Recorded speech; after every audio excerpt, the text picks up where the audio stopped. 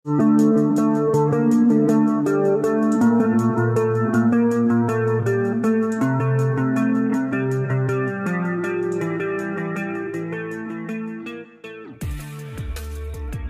sahabat semua, para pecinta sinetron Bidadari Surgamu Di mana pun Anda berada, balik lagi bareng saya di channel kesayangan kalian Yang tentunya akan membahas kembali sebuah ulasan alur cerita sinetron Bidadari Surgamu. Untuk episode hari ini dan episode selanjutnya. Nah guys, pada episode kali ini kita pun tahu tentang Permasalahan yang ada di dalam rumah tangga Andrew dan Namira begitu juga dengan Angel yang nampaknya kali ini mereka pun selalu berseteru dalam hal pemikiran apa pun.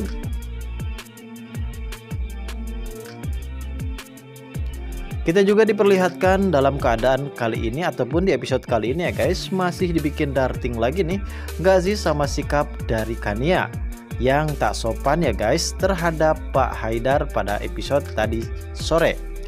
Bahkan kali ini perkataan Kania pun sukses bikin Pak Haidar dan Ibu Hamidah begitu sangat terlalu sakit hati yang amat begitu dalam. Dan kali ini juga guys, Ibu Lauza yang sempat marah terhadap Kania sampai menggebrak meja makan. Namun sepertinya Kania nggak ngerti juga ya guys sama apa yang dikatakan oleh Ibu Lauza. Sampai-sampai nih, Dennis sama Andrew juga ikutan marah sama Kania ya guys.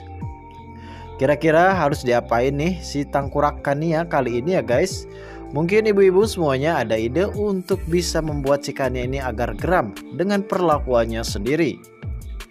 Bahkan kali ini Dennis akan ikut mencari tahu ada hubungan apa antara Pak Haidar dan Ibu Lauza.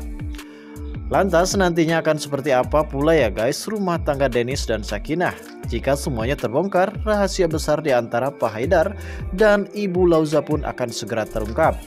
Pastinya akan makin penasaran kan dengan keseruan di episode selanjutnya. Seperti biasa ya guys, namun sebelum melanjut juga ke pembahasan dan ke alur videonya, bagi kalian yang baru saja bergabung, dan menemukan channel ini, alangkah baiknya bantu channel ini dengan cara tekan tombol like, komen, dan subscribe. Dan hidupkan juga tombol lonceng notifikasinya ya guys, agar kalian tak ketinggalan info-info menarik dan terupdate seputar sinetron Bidadari Surgamu.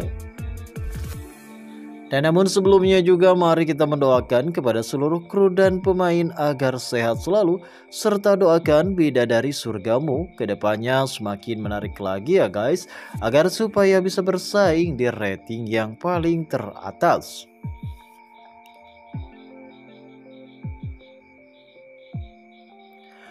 Nah guys, kali ini sepertinya ya rencana Ibu Putri dan Fadil akan segera berhasil nih untuk merebut semua uang hasil penjualan rumah milik Fahidar dari Sofia. Sebab kini Fadil yang telah mengetahui nomor rekening dan fin-finnya milik Sofia tersebut ya guys. Wah ini pastinya setelah itu lagi dan lagi Ibu Putri akan carmuk ya guys sama Pak Haidar dan Ibu Hamidah. Karena hal ini pula ya Kedua orang tua Sakinah akan segera pindah dari rumah Pak Mario dan Ibu Lauza sebab mereka yang begitu sangat tersinggung dengan perkataan si bebengus Kania kali ini. Sehingga membuat Ibu Hamidah begitu sangat sakit hati pastinya. Hal ini pula yang akan memanfaatkan oleh Fadil dan Fada Ibu Putri setelah nantinya mereka pun mendapatkan semua uang yang dimiliki oleh Sofia di mana nantinya guys uang tersebut akan segera diberikan kepada Fahidar dan Ibu Hamidah. Ibu putri ini selalu saja berjalan dengan lancar. Niat mereka yang ingin kembali dekat dengan orang tua Sakinah supaya bisa mengetahui ada rahasia apa di antara Pak Haidar dan Ibu Lauza. Sebab mereka ingin mengetahui rahasia tersebut. Karena itu kunci bagi mereka dan untuk mendapatkan Sakinah. Namun tak hanya itu juga ya guys, kali ini juga Dennis yang telah mengetahui rencana dari Fadil dan Ibu Putri, justru ia pun akan ikutan dalam rencana tersebut. Namun versi Dennis sendiri ya guys, karena ia pun ingin mengetahui ada apa sebenarnya di antara mertuanya dan ibunya tersebut.